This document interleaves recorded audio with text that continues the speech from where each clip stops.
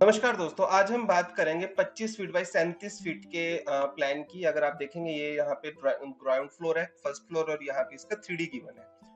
तो अगर मैं ग्राउंड फ्लोर की बात करूँ यहाँ पे, तो यहाँ पे आप देख सकते हैं और ये आपका एक नॉर्थ फेसिंग आपका प्लॉट है। यहाँ से मेन गेट दिया गया है, सेवन फीट वाइड फ्रंट आपका यहाँ पे गिवन है। यहाँ से हमने स्टेयर चढ़ाई है फ़र्स्ट फ्लोर पे जाने के लिए।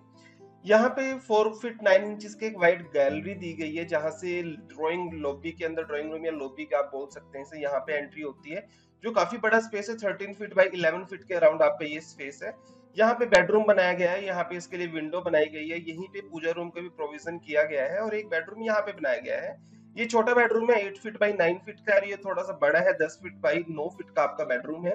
यहाँ पे ओपन टू स्काई आपका स्पेस छोड़ा गया ताकि जो ये वॉशरूम है, इसकी वेंटिलेशन यहाँ पे बनी रहे और वेंट यहाँ पे लगाया गया और इसका यहाँ पे बेडरूम का विंडो यहाँ पे लगाया गया है। ये आपका एक कॉमन वॉशरूम है जो यहाँ पे बनाया गया और ये वॉशरूम बनाया है इस मास्टर बेडरूम के लिए जो अटैच किया गया, दस फीट बाई दस फीट का आपका मास्टर बेडरूम है।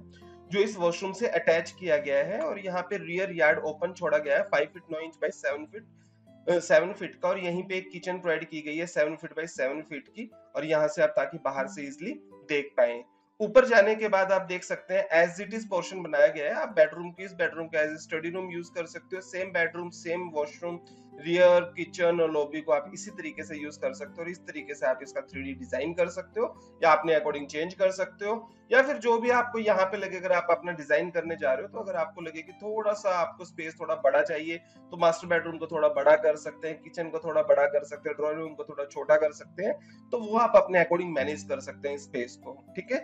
तो थैंक यू सो मच दोस्तों वीडियो देखने के लिए, मिलते हैं नेक्स्ट वीडियो में, तब तक बने रहे मेरे साथ, वीडियो को देखते रहे लाइक करते रहे शेयर करते रहे सब्सक्राइब करते रहे चैनल को थैंक यू सो मच